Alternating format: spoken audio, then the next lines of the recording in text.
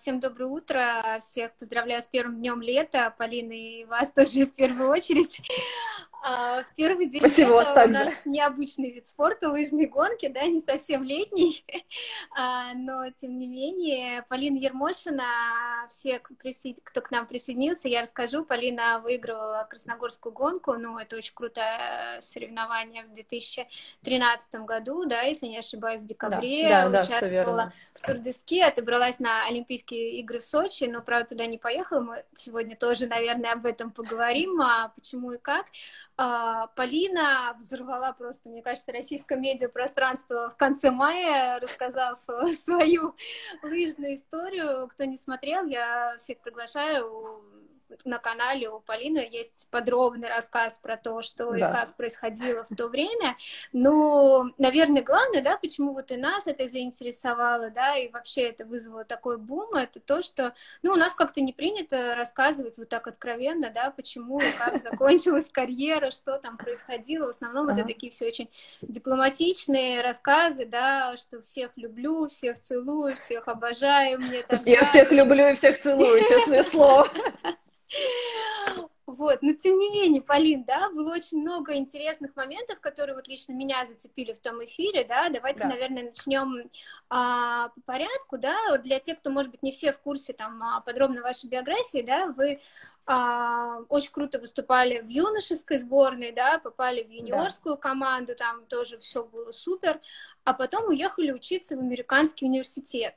Да. Вот это такой очень, ну, супер необычный выбор, наверное, для российского спортсмена, даже не только лыжника. Я, наверное, считанные примеры, и то там в каком-нибудь плавании могу найти, да, вот э, такого развития угу. карьеры. Вот э, расскажите, почему так, как так получилось, как ускали универ, куда поехали? Ой, э, вообще все, как всегда, очень случайно. Но у меня всегда как-то жизнь, она так все эти такие этапы, какие-то глобальные перемены, они случаются, ну, так вот неожиданно.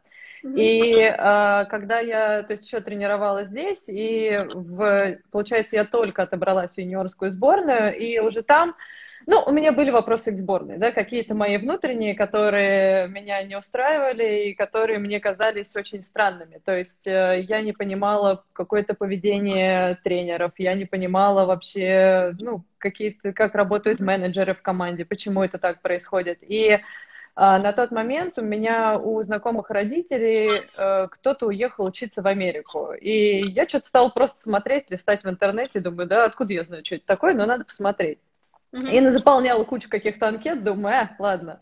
И через какое-то время стали приходить отзывы из универов, потому что уровень моих лыж, он был очень высокий для Америки. Mm-hmm. Да, опять же, он там не был заоблачным, но он был высоким. А, но у меня не было знания английского. То есть английский я знала постольку, поскольку, ну, понятно, я учила его в школе, чуть-чуть занималась дополнительно. Э, да, но при этом, как бы мы столько там ездили по России уже с восьмого класса, я, по-моему, школу посещала очень-очень мало, что, ну, этих знаний явно было недостаточно. И у многих университетов, э, у них есть такие, ну, как бы правила послабления для международных студентов. И под них я хорошо подходила. То есть я сдала э, сначала один, нужно было сдать два экзамена SAT и TOEFL.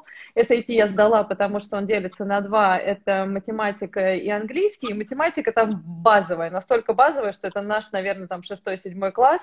И там у меня был просто полный балл, и каким-то образом я там добрала, в общем-то, английский, просто отгадывая, значит, кроссворд, что называется. А TOEFL я не добрала два балла первый раз, а второй раз я пропустила дату экзамена, потому что я о ней забыла. И...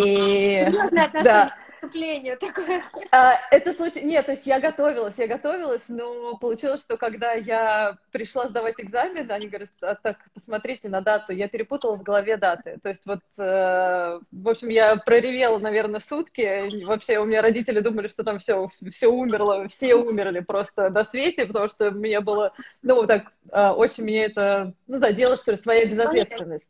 Да, то есть именно моя безответственность вот этого всего. А, но а, было, был допуск, э, который эм, позволяет приехать студенту и, отучившись там месяц, сдать этот, э, только он же называется не TOEFL, а по-другому, и сдать этот же экзамен похожий еще раз.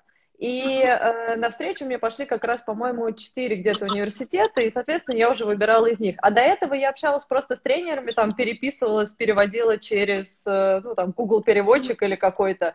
Ну, в общем-то, как-то общими фразами вот мы так договорились. Угу. А куда в итоге вы поехали и как там выглядели тренировки? Потому что вот то, что я читала, это прям сумасшедший график, что ты там чуть ли да. не в 5 утра на снегу, да, да, да, да, да. Вот расскажите немножко об этом. А, все очень просто. То есть, во-первых, я поехала в Нью-Мексико. Но дальше я уже ориентировалась чисто на тренера, поскольку голова в тот момент работала на то, что вообще неважно, а, какое там образование, престижный, непрестижный университет. Я вообще в этом ничего не понимала. То есть я посмотрела на карту, наверное, там за неделю до вылета такая... Да, я такая, ой, говорю, а это почему-то на юге. Думаю, а там снег-то точно есть, но вроде тренер обещал, что будет.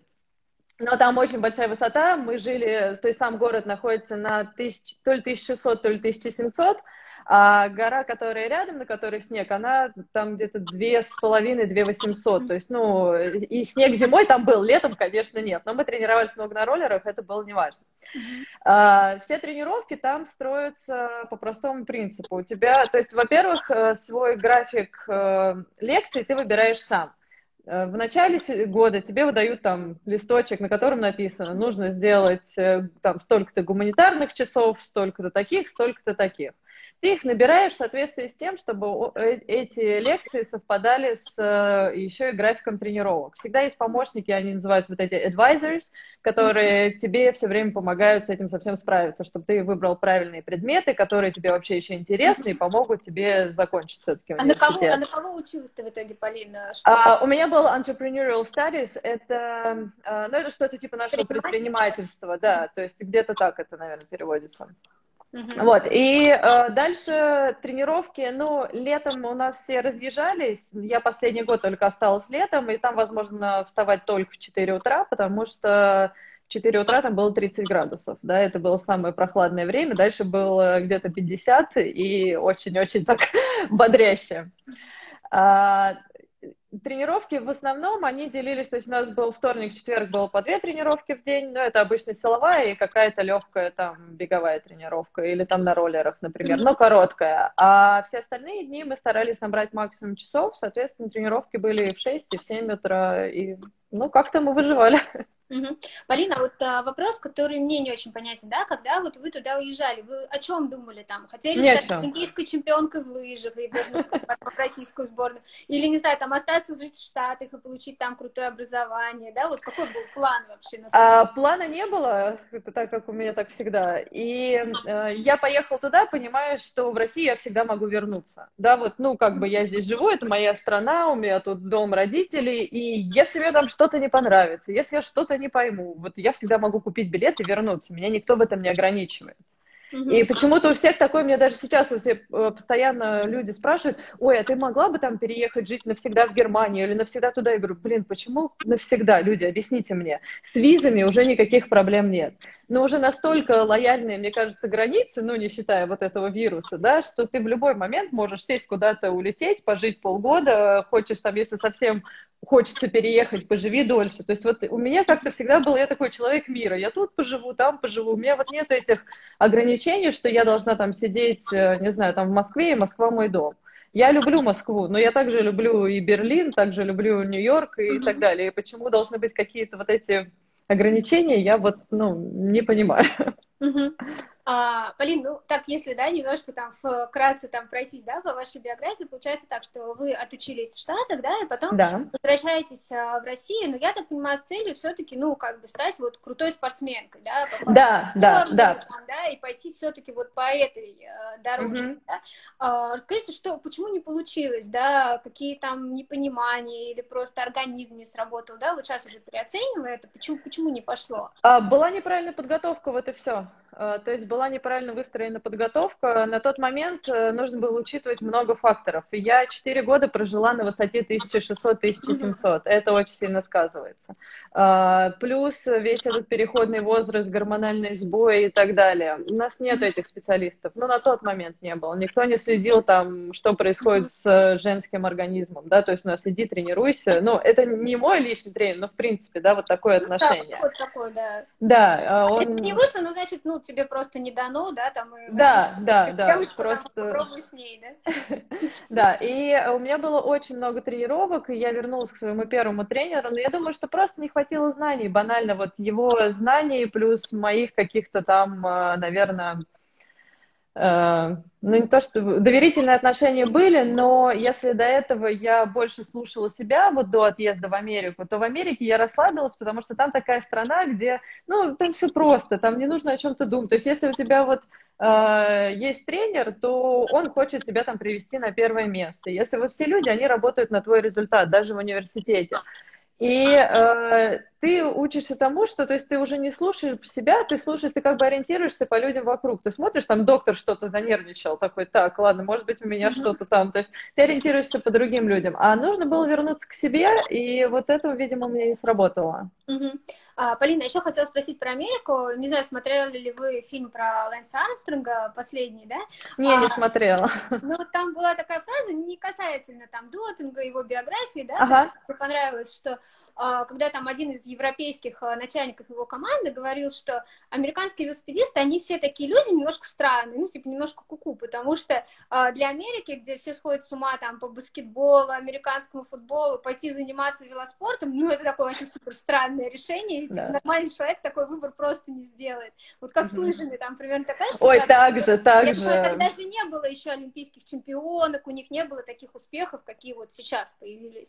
Да, у них как раз успехи успехи начались тогда, вот я ушла из университета, и они подсобрали эту команду, и то есть они сделали очень колоссальный прорыв, но у них очень много настроено именно на вот это внутреннее э, общение с командой, то есть и они такие вот, они командные ребята, вот все игры, почему у них хорошо игровые виды спорта, потому что они вот прям командные ребята, и на тот момент э, у нас была одна девочка из э, Миннесоты, была у нас в команде, и когда я увидела, честно, я ее обожаю, но когда я увидела, как она катается на лыжах, у нас вот, ну как бы это человек, который купил лыжи и в детстве ходил и катался на лыжах. И участвовал, ну это нормально у них, у них нормально, ты купил лыжи, ты пошел сразу участвовать, ну ребенок, да, и повел ребенка сразу. Да?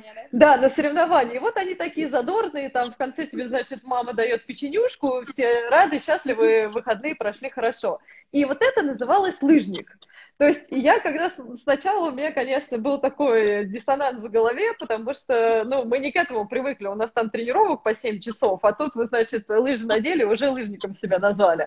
Но потом ты к этому адаптируешься, и лыжи там был вообще не популярный вид спорта, то есть э, тогда его и не знали, и как бы у нас были тоже проблемы там в университете, когда они выбирают финансирование на год. Э, мы, допустим, э, у нас в один год стоял вопрос между нами и футбольной командой, но футбольный, который обычный футбол, не американский, а обычный. И да, там как-то тренеры доказывали президенту, что, слушайте, вот мы там выигрывали университетские э, звания, значит, ну, чемпионаты, да, то есть это более важно для общей картинки университета. Э, такие моменты были, ну, то есть там тоже все не так гладко, но справлялись. Угу. Вот вопрос про биатлон, спасибо, наверное, чуть позже, да, потому что на тот момент это mm. не было актуально.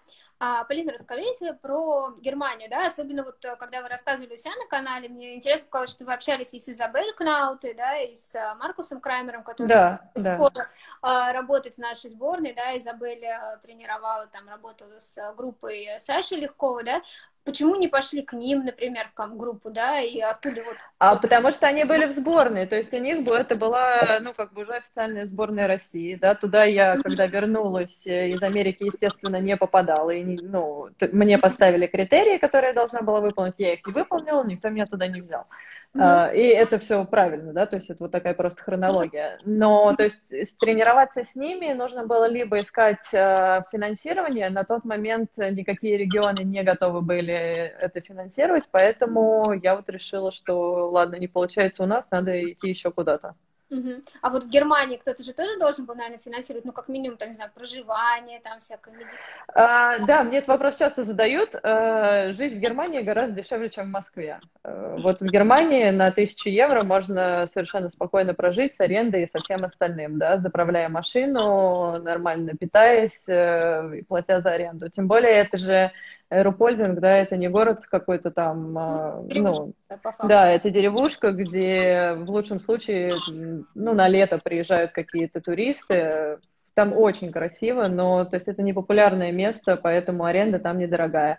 А, про тренеров я уже говорила, они сказали, слушай, нам ничего не надо, тренируйся спокойно, мы вот рады, что ты присоединился к нам в команду, и все. То есть там, там какое-то другое отношение, не знаю почему. Я, честно, я, я не представляю, что вот кто-то из Германии к нам приедет, и нам такие, да, давай, пошли да, тренироваться. Да, и мы там, там, не знаю, там, бородавка, да, скажет, да, да. круто, мне денег не надо, давайте с нами. Э, но там другой социальный уровень, уровень социальной жизни, да, то есть они, ну, сам уровень обеспеченности граждан, он выше, поэтому они не будут э, гоняться там за лишними, я не знаю, 500 евро или, ну, не знаю, честно, даже сколько это стоит, но, то есть у них другой менталитет в этом плане, и они видят, когда команда, в принципе, от всего этого на общем фоне, то есть от моего присутствия там выигрывает, они видят, что там, ну, та же какая-то морально-психологическая вот эта вот вся устойчивость у команды, она подросла. И, конечно, это выгода для всех. Uh, я видела фотки, где вы стоите рядом с Денизой Херман, которая сейчас uh, uh-huh. самая крутая да. Вот расскажите про нее, да, чё, как она вообще, что... Ой, слушайте, у нас, да, у нас было, вот в команде, получается, ну, включая меня, четыре девочки такие, которые вот тренировались. Это Элизабет Шишо, она закончила, Денис Херман и Штефи Бёля. Угу. Штефи тоже закончила, да, да, да. Угу. Вот.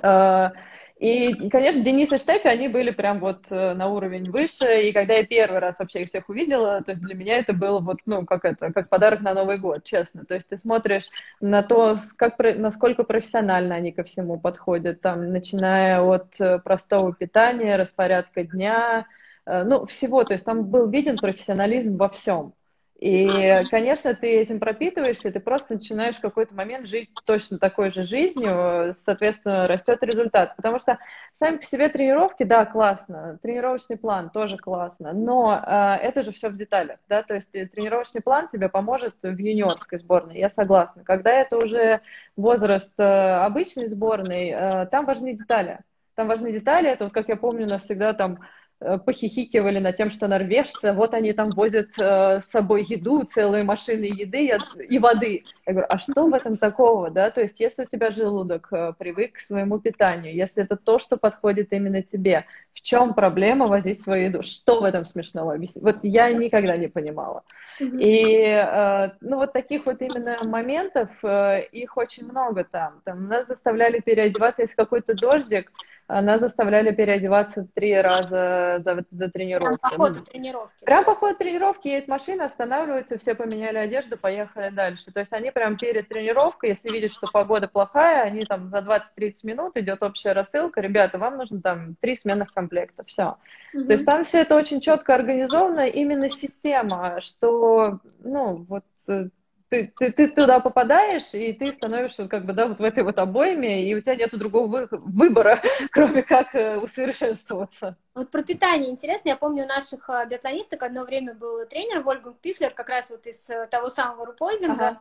И да. они не очень понимали, когда он, например, говорил там, спрячьте кетчуп и майонезы, там вот это нельзя, то нельзя, там разная была реакция у девчонок.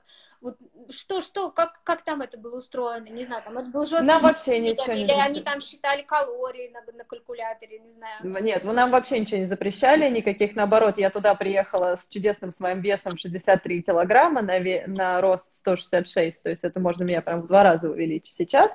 Я об этом тоже рассказывала, что вот это мне прям был большой стресс.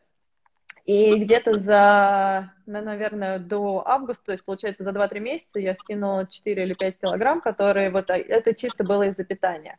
А, нас заставляли там есть очень много, и качество еды, видимо, позволяет так э, сработать метаболизму организма, что э, организм начинает потреблять э, ту еду, которая, которую ты ешь, то есть не, не те запасы, которые он откладывает, а вот ты съел, он это израсходовал, ты съел, он это израсходовал, тем самым э, ну, убыстряется метаболизм. Но для этого и... надо есть какие-то определенные вещи, видимо, да?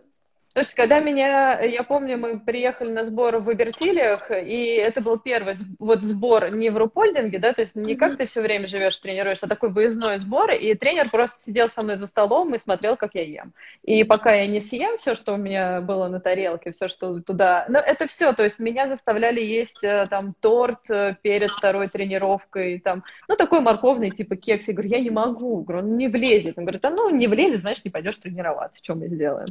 Потому что для них вот эта подпитка организма очень важна. Но не было вообще никаких ограничений, ни у кого. А при этом вы скинули в итоге вот да? Да, да, да. Я потом, потом они меня наоборот посадили, я не добирала очень много. То есть я вернулась через год, и вместо, то есть у меня такой боевой мой вес был 53-54, даже больше 54, я приехала 51. И mm-hmm. пока, то есть, ну, с 63 на мой рост, да, вот это до 51, это был просто, mm-hmm. это за год, считай. И эм, пока я не набрала еще пару килограмм, меня не выпускали на тренировки. А была же история в прошлом сезоне с норвежкой Осберг, если я не ошибаюсь, да, которая тоже там, пытаясь э, догнать Терезу Юхаук, э, скинула излишний вес, и Норвежская Федерация не давала ей тренироваться. Это правильно. Я, да, я считаю, что это правильно, потому что, да, мы все гонимся за результатом, но это наш организм, в котором нам жить, и это может быть угроза жизни. Поэтому я считаю, что они правы. Угу. Полин, ну что, подошли мы, наверное, к самой такой горячей теме, да, Красногорка, горы и все, что с этим связано. Ну, в принципе, я думаю, историю все знают, нет смысла ее повторять, да, что вы приехали из Германии, выиграли Красногорскую гонку на 30 километров, да, и тем самым отобрались как на Тур-де-Ски, так и на Олимпийские игры в Сочи, ну, если смотреть э, формальные критерии отбора. Что я не очень поняла вот из того рассказа, да, а почему наши девочки и руководство команды так негативно к этому отнеслись. Ну, казалось бы, ну, отобрались и отобрались. Что, в чем проблема вообще? Я не знаю, честно, у меня нет объяснения, как бы, почему это случается и почему одни реагируют так, другие иначе. Я не знаю. Может быть, опять же, это было, я же не говорю, что там, это может быть что-то было и в моем поведении, да. Может быть, э, там, я привыкла уже к немецкой системе, допустим, я помню, как э, у немцев, э, когда ты заходишь в столовую, допустим, на любом приеме пищи, и ты не можешь сесть, это их правило, а ты не можешь сесть за новый стол, если один из столов еще не заполнен. То есть тем самым они как бы постоянно миксуют людей. А у нас каждый, допустим, должен сидеть всегда на своем месте и не пересекаться. И я долго не могла понять, думаю, почему они все так не любят, когда ты к ним садишься за стол. Я думаю, в чем вообще проблема? Я, честно, я, я же не делала это как-то специально, то есть я, ну как, думаю, блин, а потом оказалось, что просто вот у каждого должно быть свое место, знаете, такое подписанное, видимо, с табличкой, я не знаю тоже, как это работает. А, и почему такой негатив, я не знаю. Честно, я старалась от этого всего отстраниться, насколько это было возможно, но это очень тяжело, когда это давит со всех сторон. То есть, mm-hmm. когда это вот э, и оттуда, и оттуда, и оттуда, ты думаешь, блин, а зачем ты вообще это делаешь? Вот ты любишь лыжи, да, вот ты там хорошо потренировалась с немцами, туда съездила. А вот находиться во всем этом негативе, ну, это прям, это неинтересно. Просто вот для меня это было абсолютно неинтересно и не сработало. Полина, расскажите вот немножечко про негатив. Я думаю, не все там а, смотрели этот эфир, да, и понимают, вот о чем конкретно идет речь, да, когда вы говорите негатив. Вот расскажите про тот тур дески и вот про отношения, да, что там было. Лыжи, я помню, да, историю. Ну, лыжи мне не намазали, а, например, да. Внутри. Ну, вот как, вот, э, вот как, ты приходишь на стадионе, это было в Вальдофиеме, да, если вот мы говорим про, про конкретно этот случай. Стадион в Вальдофиеме, стоит много вагон, э, не вагончиков этих траков, которые, ну, большие вот эти машины, которые сервис сервисные. Рядом э, есть ангар, в котором располагаются всегда все э, сервис, э, как-то, не сервисмены, представители различных брендов, то есть Атомика, Фишера, то есть те, которые, они всегда находятся в этом а, ангаре. И ты, вот ты, вас привозят, то есть ты живешь в гостинице, вас привозят на машине, ты выходишь из машины, идешь к, это, к этому траку, для, чтобы взять лыжи на разминку, а все лыжи просто залиты. Вот ты заходишь, э, там начинается же суета, ты же не один туда заходишь, заходит там, ну сколько нас приехало, ну пусть пять там девочек, я не знаю, может больше, в, в одно время, да, и начинается суета, одни лыжи, вторым лыжи, ты стоишь и говоришь, а где мои лыжи? Тебе там раз пять говорят, ну иди посмотри, иди посмотри. Ты начинаешь смотреть, ну, потому что они тоже, они же там все стоят э, в, ну, в, в поддержке специальной для лыж.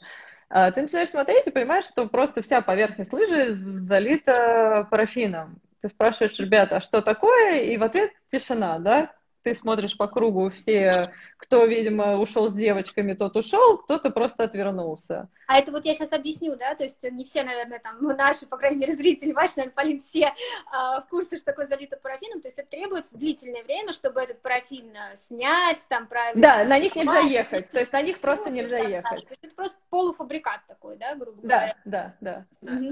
А что делать в такой ситуации? Ну, вот что делать? Берешь телефон, звонишь представителю Фишера и говоришь, говоришь, э, добрый друг Анди, э, такая ситуация, у меня нет лыж, найди мне лыжи. Э, выслушиваешь паузу, выслушиваешь недоумение, потом, ну, просто идешь в соседний ангар, мы нашли с ним несколько пар лыж, на которых на одних я разминалась, на других я бежала, на лыжах француженки, ну, вот и все.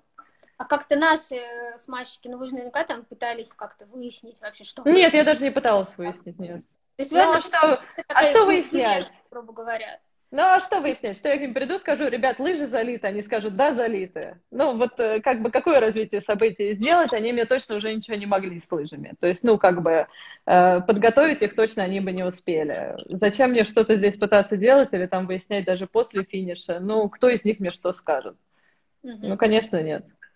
Была ли какая-то поддержка со стороны ну, тренеров, например? Все равно же такая многодневка подразумевает, что, ну, не знаю, вас там должны поить, что-то подсказывать, там какой-то составлять план переездов и так далее. Как, как... План переездов, да, э, план переездов. Я не помню, как это все сообщалось, но это как-то все было, ну, то есть нам об этом рассказывали, наверное. Были какие-то пару собраний из того, что я помню, но для меня это были какие-то собрания ни о чем. Вот они были направлены на то, что мы там выезжаем, мы делаем это, мы делаем это, Хотя, в принципе, наверное, больше в этот момент требуется какая-то настройка на старт, какие-то там вводные данные. И этого всего, ну, лично мне этого всего не хватало.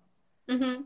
А что касается отношений вот тренеров, других девчонок, как это выглядит? Они вообще общались, не знаю, здоровались? А, да, не-не-не, конечно, все общаются, все здороваются.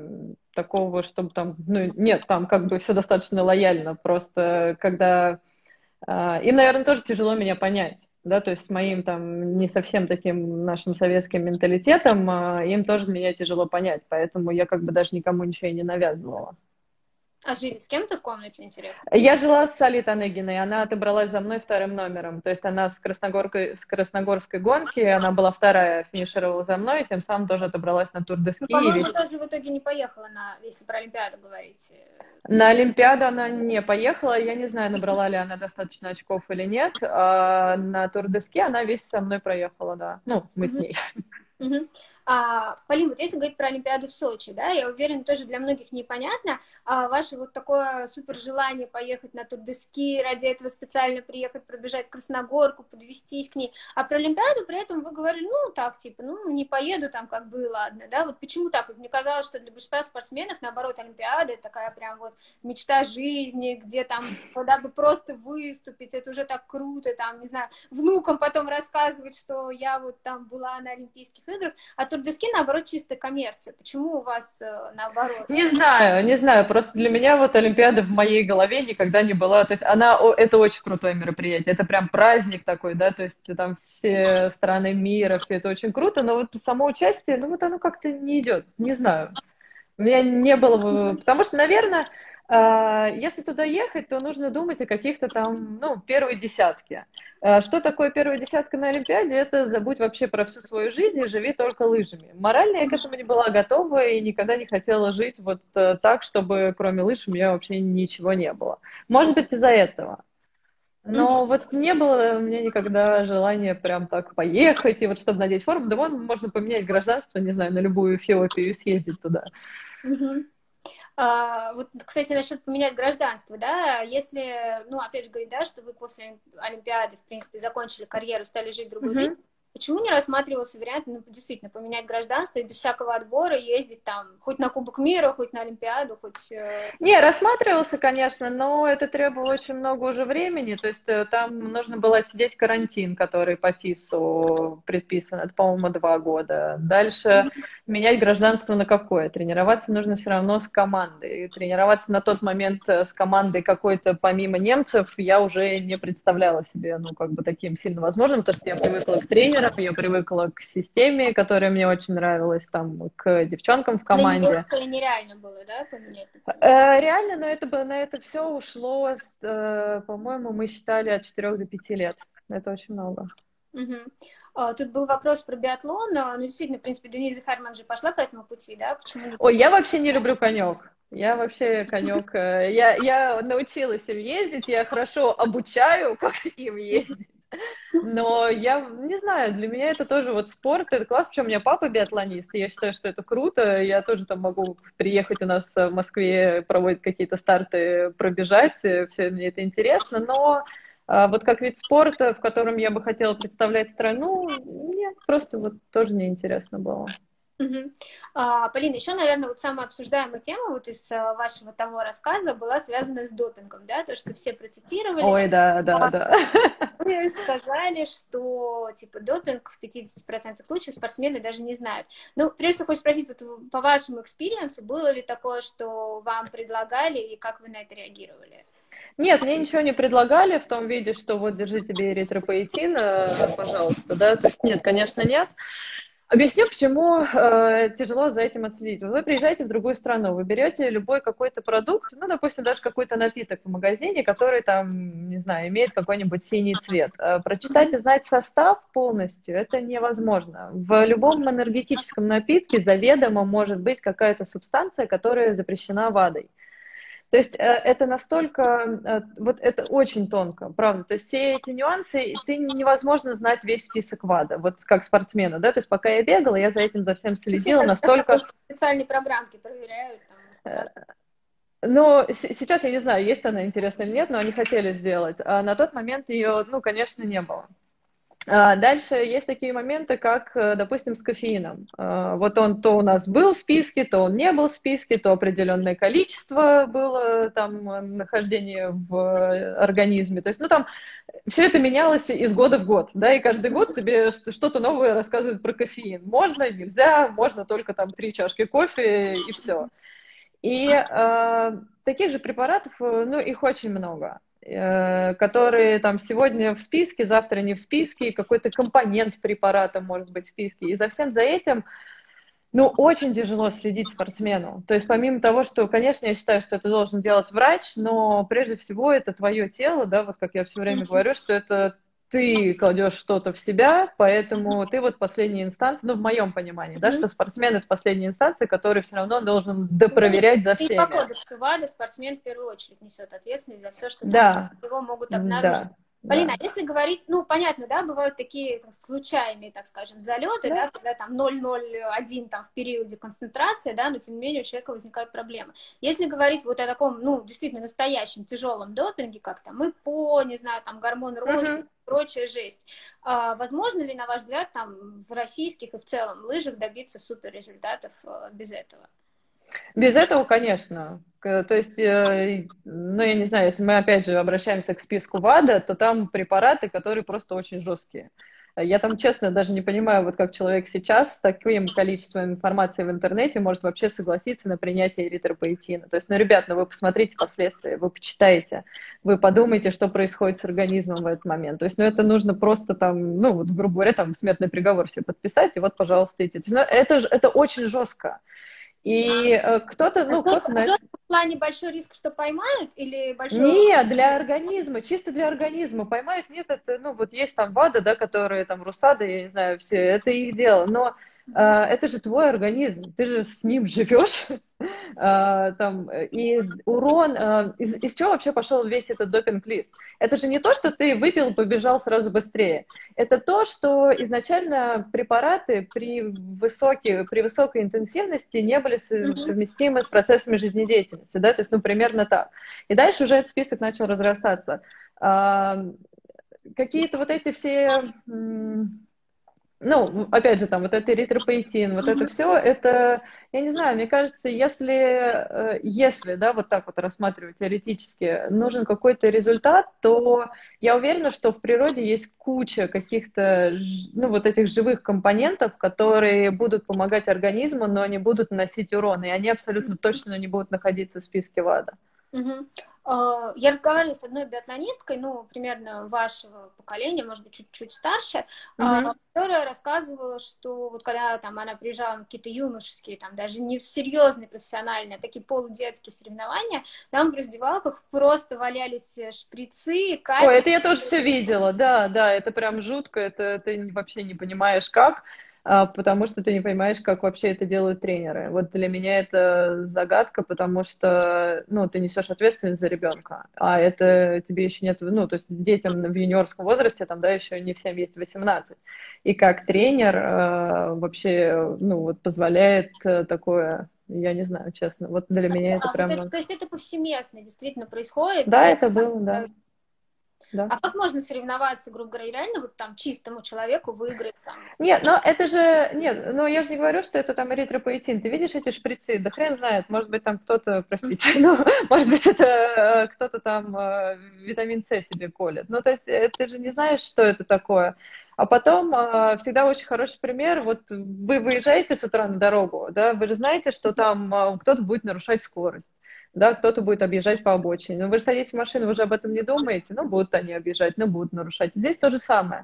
То есть ты выходишь, ну, вообще тебе не до людей, которые... То есть ты думаешь про себя, ты думаешь, как тебе пробежать дистанцию, и, и все. А остальные это уже, ну, как бы... Э, ты же не можешь на это повлиять сам лично. Ты же не можешь там ходить по комнатам и проверять или еще что-то. То есть это вещи, которые от тебя абсолютно не зависят. Угу. А, как человек, который не поехал на Олимпиаду в Сочи, ну, и думаю, что к лучшему, да, знаю, что все, все, что потом там происходило, там суды до сих пор э, идут. Э, да, к сожалению, да. Которые там выступали. Ну, вот чисто ваше мнение, понятно, никто там свечки не держал, что на самом деле было, да, но вот чисто ваше мнение, что там происходило? Это действительно, не знаю, там Роченков сошел с ума и придумал какой-то новый детектив или что? Не знаю, честно, не знаю, потому что столько данных и столько всего, плюс я не следила за этим прям вот очень точно, да, то есть кто что сказал, кто где сделал, какие, что было обнаружено, что не было обнаружено. А, подменить допинг-пробы можно, наверное. То есть, ну, не знаю, это очень много несовпадающих факторов, которые не, вот, ну, не дают сложить общую картинку. Угу. Вот по вашим ощущениям, сейчас лыжи стали чище в плане допинга, чем были вот там 10 и более лет назад? Я думаю, что да, хотя бы вот этот весь э, жескач с эритропоэтином убрали гормоном роста, ну, как мне кажется. Хотя кто там, австриец же, по-моему, был пойман как раз на... Ну, вот, ну, для меня, вот не понимаю, я честно, не могу понять, как можно этот препарат вообще вводить себе, каким вообще любым способом. А вот когда вы были в Германии, например, обсуждалась ли как-то тема допинга с тренером? Может быть, они что-то спрашивали, не знаю, что-то запрещали и так далее? Нет, ну, во-первых, у нас же постоянно берут анализы там, э, то есть э, даже за лето, кстати, вот туда БАДы приезжают вообще с завидной регулярностью, потому что э, ставится же промежуток времени, когда ты присутствуешь дома, и все это ставят с утра, потому что, ну, это как бы вот там ну, с 6 дома, до 7, да. да, с 6 до 7 обычно, и очень часто летом случалось, когда там кто-то пишет, что, типа, ребят, у меня ВАДА, приеду позже, там, или, ну, потому что непонятно, сколько это по времени может занять. Туда они приезжают часто с тренером. Ну, как я уже говорила, что когда только я туда приехала, они сказали, слушай, ты извини, но мы все равно тебя проверим на все. Э, и просто взяли все анализы в своей, ну, как в клинике, где обследовались спортсмены. То есть не ВАДА, ничего, а просто вот они там взяли кровь, мочу, все, да. А, говорит, нам, ну, потому что мы допускаем тебя в команду, мы хотим убедиться. Я говорю, конечно, то есть, ну, это абсолютно понятно для меня. Все остальное нет, какие-то рекомендации, все только через врача, врач, даже витамины, то есть только врач тебе говорит, какие витамины принимать, и все. Угу. А, если говорить вот о современных, да, опять же, лыжах, а, все равно интересно, да, как, как люди, вот тем более вы специалист по спортивному питанию, да, есть ли что-то такое, что может, ну, грубо говоря, заменить допинг, да, и там, не знаю, ты там съел таблетку витаминов и побежал, ну, условно, да, там, в понимании но если, если мы называем допингом то, что указано в ВАДовском списке, э, то ну. я стопроцентно уверена, что, допустим, те же китайцы найдут такой грибочек и какую-нибудь веточку. Не, серьезно, потому что в природе столько всего находится, что, во-первых, никто никогда не найдет, а во-вторых, это будет иметь какой-то там, я не знаю, ну, я думаю, что колоссальный эффект на организм. Потому что чем природнее, на самом деле, компонент – тем проще он усваивается и лучший результат. То есть это можно, но это все равно борьба медицины.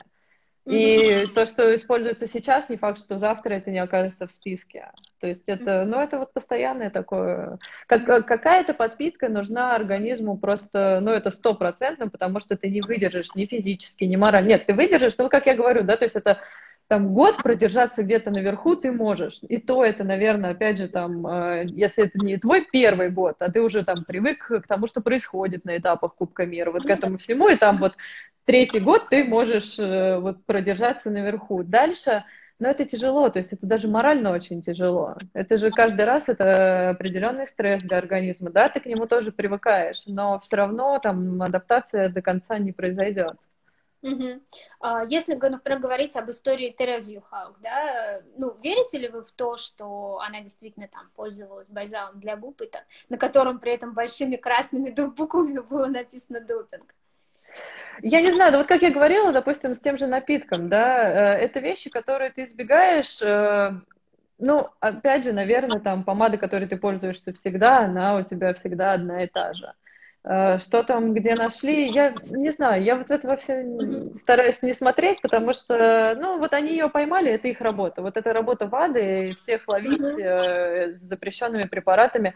Опять же, по этому списку. Там, я, я не знаю, какое количество препаратов можно найти не из этого списка, которые точно так же там будут влиять на организм, но вот почему-то эти относят, а эти не относят. То есть, не знаю, с ней... Э, ну, если нашли, и она говорит помада, я верю, что нашли и была помада. Окей. Okay. А, Полина, еще всегда было интересно отношение ваше к Елене Валерьевне Вяльбе. Ну, у нас, в принципе, люди, которые там из сборной, они исключительно говорят в таких восторженных тонах, да, вы человек сейчас э, более независимый, да, как вы вообще относитесь к ней, ну, как спортсменке вопросов нет, к ней как к руководителю? Ой, да, как спортсменки она вообще очень крутая, это даже не, не, да, не, обсуждать нечего. обсуждать нечего. А, если говорить о том, как президент федерации, я не знаю, честно, мне кажется, что любого человека, которого вот поставишь на пост, да, всегда к нему будут вопросы, то с одной стороны, то с другой. Если брать э, медали, которые она приносит, э, то вроде бы все хорошо. Но э, немного понимая, как они работают, я уверена, что всю эту систему можно улучшить, да, то есть если брать какое-то общее направление всей федерации, то я уверена, что они могут работать продуктивнее, они могут... Э, у нас люди, блин, вот наши лыжники, но они же вообще умеют терпеть так, как, мне кажется, никто не умеет терпеть, честное слово. И при этом, э, опять же, как мне кажется, этих медалей может быть гораздо больше, если что-то где-то да, оптимизировать, где-то убрать более личные отношения, да, все-таки какая-то системность должна быть. И э, если вся федерация там работает на улучшение результата для того, чтобы вся страна была представлена на международной арене там лучше, лучше и лучше, э, то мне кажется, это хорошо. Но я не знаю, насколько они стремятся к этому. Да? То есть я не знаю, какие, зада... какие задачи федерация ставит перед собой. Или там ну, Елена Валерьевна непосредственно такая основная задача. Ну, тогда мне кажется, что, ну, как, ну, тогда, наверное, что любую работу можно, ну, нужно стараться улучшить это стопроцентно. И неважно, это Елена Валерьевна или кто-то еще. Я вот здесь как-то не сильно разделяю. Это президент федерации, который должен тащить всю страну э, наверх. Вот и все. Каким образом э, она это делает? Э, если это все прописано в уставе Федерации, то, ну, пожалуйста. Угу. Что бы вот первое вы бы улучшили? Ну, не знаю, завтра там у вас есть возможность сделать там одну какую-то реформу в российских лыжах. Чтобы, чтобы... Ой, я бы, нет, я бы, конечно, смотрела на все отборы. У нас очень, э, по моему мнению, нелогично выстроены отборы на, ну, вот на этапы Кубка мира, там, на Олимпиады и так далее. Не все, но есть очень много спорных моментов, которые на самом деле мешают спортсменам, даже тем, вот, которые отбираются, показать хороший результат непосредственно на самом э, мероприятии, что является ключевым. То есть ты вот, ну, там, так же, как у меня получилось, да, мне просто было, неважно что, мне нужно было готовиться к отбору. То есть mm-hmm. дальше уже все, дальше уже никому ничего и не интересует. И очень многие ведь так и делают, наверняка, только не один раз. Да, там, а да, мы все готовимся к отборам, да. Это, это вот прям, мне кажется, самое большое такое наше упущение, мы готовимся к отборам. Мы вот, отбор это у нас все, потому что самое главное это зацепиться в команду. Все вот, неважно что, просто нужно зацепиться в команду. И поэтому, пока ты готовишься к отбору, ты упускаешь из вида, естественно, более важное соревнование. Угу. А, сейчас самый крутой наш самый звездный лыжник это Саша Большунов, да, ну вопрос нет, человек выиграл общий зачет Кубка мира. А, вообще, как вам он, как вам кажется, за счет чего он выиграет? Потому что вот он даже приходил к нам в редакцию недавно, а он кажется, ну, человек вообще машина, и вот про него как раз говорят, что Саша вообще никого не видит, э, не знает, э, кроме лыж, все только для лыж, даже на интервью он там смотрит на часы, там у меня через 10 минут там тренировка, или там нужно выпить там, не знаю, стакан воды, съесть есть батончик, да. там все просто просчитано. А, как вам кажется, что это за спортсмен и насколько долго, ну, будем надеяться, да, он пришел на вершину? Но есть же такие замкнутые, да, достаточно люди, которые вот выстраивают свои рамки, что я тренируюсь, и меня не трогайте. И в России этого больше. То есть э, в Европе, допустим, или в той же Америке, ну, все сами, сами видели, да, когда куча снимается видосов каких-то, там мы тут потанцевали, там попрыгали, кому-то подходит э, вот этот. Ну, я честно, вот да, допустим, Большинова не могу представить себе там прыгающего. То есть ему нужна концентрация внимания именно в таком формате. Вот ему нужны часы, ему нужно там смотреть, когда ему выпить стакан воды, но это, опять же, каждому спортсмену все равно должен быть индивидуальный подход. Если вот он такой, то э, и к нему нужно так относиться, потому что медаль это завоевывает он. Тренеры и все остальные, они должны ему помогать. И если у него э, ну, голова работает так, и настрой происходит от того, что он каждую минуту смотрит на часы, значит, он так должен делать. То есть это вот чисто какая-то индивидуальная особенность, да, наверное, можно так и назвать.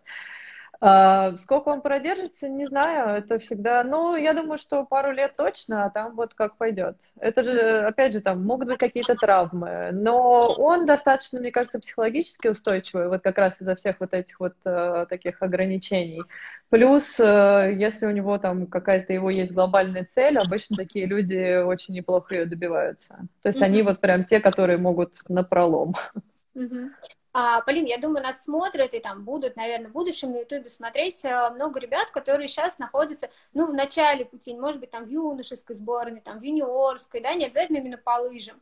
А, угу. Что вы посоветуете? Нужен, имеет ли смысл вот там действительно пытаться поступить в какой-то западный, там, американский или европейский какой-то универ, да, и выбиться вот из этой нашей системы, которая, казалось бы, такая стройная, да, там, юношеская сборная, юниорская, поступил в какой-нибудь институт физкультуры, потом взрослый угу, и так да. далее. Имеет ли смысл пытаться выйти вот из этого круга? А, я очень э, рада, что я отучилась именно в Америке. Мне кажется, это настолько круто. Это вот э, прям то, как смотришь фильмы. Вот когда включаешь любой американский фильм, это, это выглядит ровно так же. Я Поэтому, мне кажется... Да, да. То есть э, именно студенческая жизнь в Америке, мне кажется, это очень круто. Это прям вот... Она очень живая, она очень активная, она интересная, она разносторонняя, она также открывает твой кругозор а, нужно ли туда ехать или нет, все зависит от цели. Вот честное слово. То есть, если кто-то, допустим, в фигурном катании, ну, конечно, нет, да, то есть у тебя 7, 7 часов тренировок в день, и, пожалуйста, забудь обо всем. Теннис тоже нет. Есть какие-то виды спорта, которые подразумевают, да, что ты можешь там отлучиться на пару лет, э, но все зависит от цели спортсменов. То есть, я хочу сказать, что образование там крутое, интересное, но если цель э, выиграть Олимпиаду, да, то, наверное, не стоит. Угу. А, Полина, еще в заключение хотела с вами поговорить про любительский спорт. Я так понимаю, это вот то направление, в котором вы сейчас там активно работаете. А, честно говоря, глядя на некоторых наших любителей, кажется, вот мне кажется, что они там гораздо серьезнее, чем некоторые профессионалы относятся там да. к себе, знаю, там, нанимают и там массажистов, там каких-то коучей, да. там, я не знаю. А, вот расскажите про подъем любительского спорта, как вот вы его видите, да, потому что кажется, что это произошло буквально вот там в последние годы, да, откуда да. кто эти люди, которые вот вдруг там совершенно сумасшедшие вкладывают все свои ресурсы именно в спорт. Но э, когда я вернулась из Америки в 2010 году, э, я бегала по набережной э, Москвы-реки, э, и мне еще бибикали машины. То есть э, в 2010 году здесь еще было не принято бегать вообще. Я не, не помню, когда там это уже так сильно поменялось, но самый большой скачок, да, это вот, наверное, с, где-то с 2014 года начиная, да, и вот уже там до нашего, какой там, 2020. Люди поняли, что для того, чтобы бегать, нужна пара кроссовок. То есть все то, что им пытались все время объяснить, что не нужно ездить за 3-9 земель. Uh, у меня там лично, допустим, тренировались люди такие безумно занятые, которые говорили, да у меня даже 20 минут нет. Ну вот не могу я, вот не знаю куда. Я говорю, хорошо, говорю, вы же возвращаетесь, ну вот uh, домой с работы, да, пробка, вы там едете с водителем, да, с водителем. Ну так вы переобуваетесь, переодеваетесь в офисе, водитель вас высаживает и через 30 минут забирает. Он пока едет в этой пробке, вы бежите, вот вам ваши 30 минут, которые вы приедете домой с хорошим настроением. И когда люди видят, что это меняется, ну, непосредственно вот э, настроение, здоровье, они меньше болеют. Кто-то бросил курить не из-за того, что там Полина им говорила, бросайте курить, а из-за того, что просто не хочется уже. И, э, то есть, ну, идет такое общее улучшение состояния организма, что я думаю, это то, зачем люди и стремятся. Все-таки мы хотим продлить эту активную фазу нашей жизни, э, ну, как можно дольше. И, э, ну, у кого-то чуть больше средств, да, у кого-то меньше. Дальше уже вот зависит, есть у тебя массажист или нету массажиста. Ну, и все остальное уже обвязывается. Плюс это интересно. Люди испытывают, ну, все-таки восторг, когда там в своей возрастной группе, да, выходят такие на пьедестал, и, значит, им всем хлопает. Это же круто, это правда. То есть они поработали, они там э, побегали, попрыгали и увидели свой результат в виде того, что вот они стоят на пьедестале. Мне кажется, это тоже как-то ну, заражает, что ли, таким здоровым каким-то. Полина, вот что мне всегда было интересно, да, что вот этот любительский бум никак не пересекается с профессиональным спортом. То есть у нас там, не знаю, десятки тысяч участников, э, которые платят еще свои деньги за то, чтобы пробежать там московский марафон или хотя бы там десяточку на московском марафоне, да, а при этом mm-hmm. тут же проходит там какой-нибудь мемориал братьев Знаменских, где выступают и олимпийские чемпионы, и там самые крутые, наверное, наши легкоатлеты, и хорошо, если там 100 несчастных человек, там, включая родственников и друзей выступающих, придут на трибуны совершенно бесплатно, чтобы посмотреть, ну, на лучших спортсменов мира, одних из лучших, да, а, почему так, на ваш взгляд, происходит? Ну, потому что нас даже Усейн Болт не собрал полный стадион. Вот потому что так. Потому что людям это неинтересно. И когда я помню, был перекры... была перекрыта набережная, когда у нас что у нас проходил чемпионат мира, по-моему, по легкой атлетике, mm-hmm. был, пере... была перекрыта набережная на марафон, и все ругали, что типа того, мне надо на работу, а вы тут марафон бегаете. Но это такое отношение, и люди еще просто не пришли к этому. То есть до... помимо того, что должны собраться любители-спортсмены, только уже сверху будут собираться болельщики, потому что раньше то же самое, там, мне кто-то писал, там, ты будешь, не знаю, там, на нашем громе или еще где-то. Я говорю, да, пойду поболеть. Такие, зачем ты туда идешь болеть? Я говорю, а, потому что я могу. А, то есть э, у людей нету еще, ну, нету еще культуры. Я думаю, она придет, то есть чем больше это будет происходить, э, там, я не знаю, когда бежишь берлинский марафон, я вообще не помню, чтобы за 42 километра хоть где-то мы были без людей, э, болельщиков. То есть они там стоят практически на протяжении также всех 42 километров и болеют. То есть это, ну, это круто, но это нужно вырастить, это культура. Она придет, она точно придет. Угу. А, Полин, ну что, в заключение, я честно пыталась избегать темы карантина, изоляции, вируса, который уже всем, я думаю, сидит а, просто в печенках, да. но как у человека бегающего, человека тренирующего, не могу не спросить, вот буквально с сегодняшнего дня а, можно бегать а, в масках, а, как это, на ваш взгляд, реально, нереально, или надо пытаться где-то как-то... Ой, конечно, можно бегать в масках, ничего в этом такого нет, я бы не бегала в масках, я бы бегала в каком-то бафе или в чем-то, что можно обязательно постирать, потому что ты этим дышишь, и там, ну, даже через, я не знаю, 30 минут лучше его хотя бы перекручивать, потому что ты вдыхаешь собственные же бактерии, которые ты выдыхаешь. Чисто с, с такой эстетической точки зрения я бы бегала в бафе, наверное. Чем это мешает? Да ничем это не мешает. Это временная мера, которую просто нужно придерживаться, и все.